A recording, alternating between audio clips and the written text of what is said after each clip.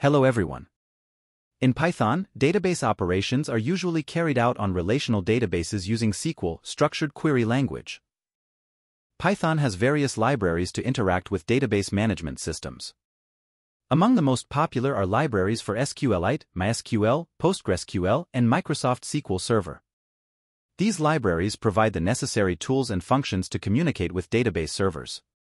Database operations in Python typically involve these steps. 1. Establishing a database connection. To communicate with a database in Python, you first need to establish a connection. This can vary depending on the type of database you are using. For example, with SQLite, you can connect to a local database file using the SQLite 3 module. 2. Creating a cursor. To execute queries and retrieve data from a database, you need to create a cursor object. The cursor is used to send your queries to the database and receive results. 3. Executing SQL queries. You can execute SQL queries through the cursor. These queries can be for adding, updating, deleting, or retrieving data from the database. 4. Committing database changes. To make the changes you made, like insert, update, delete, permanent in the database, you need to commit these changes. 5. Closing the connection. Once your operations are complete, it's important to close the database connection.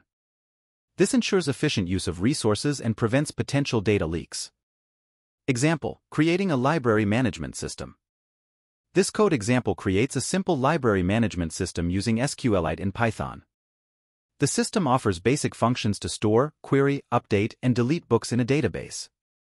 SQLite is a lightweight and serverless database management system, making it ideal for small projects and prototypes. In this project, the following steps are performed. 1. Initializing the database connection. Our journey begins with the connect underscore to underscore database function.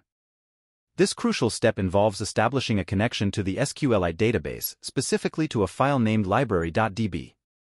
This is where all our library data will be stored and managed. 2. Setting up the database structure. Next, we use the create underscore table function to lay the foundation of our system. It creates a table named books, which acts as a repository for our library inventory. This table is designed to store key details of each book, including its unique ID, title, author, publisher, and the year of publication. These fields are carefully chosen to encapsulate the essential information about the books in our library. 3. Adding books to the database. With our database set up, we introduce the ability to add new books through the add underscore book function. This functionality allows users to input details about new books, which are then stored in the books table. This process is not just about storing data but also about expanding the library's collection in a structured and organized manner. For retrieving and displaying book information, an essential feature of any management system is the ability to view its inventory. The list underscore books function serves this purpose by retrieving and displaying all the books currently in the database. This function showcases how data can be accessed and presented from a database, providing a clear overview of the library's collection. 5. Modifying and maintaining the collection. As any library's collection is dynamic, we need tools to update and remove books. The update underscore book and delete underscore book functions empower users to modify the details of an existing book or remove it from the database entirely. These functions are crucial for maintaining an accurate and up-to-date library inventory.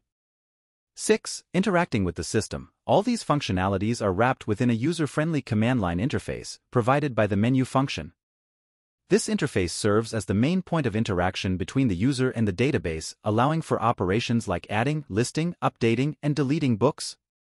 It's designed to be intuitive and straightforward, ensuring that users can easily manage the library without needing in-depth technical knowledge.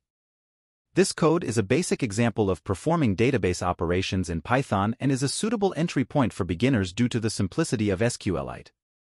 For the source code of this project and more information, you can follow the link below. Engaging with the community. Feel free to reach out to me on my social media channels for any queries or discussions related to Python and databases.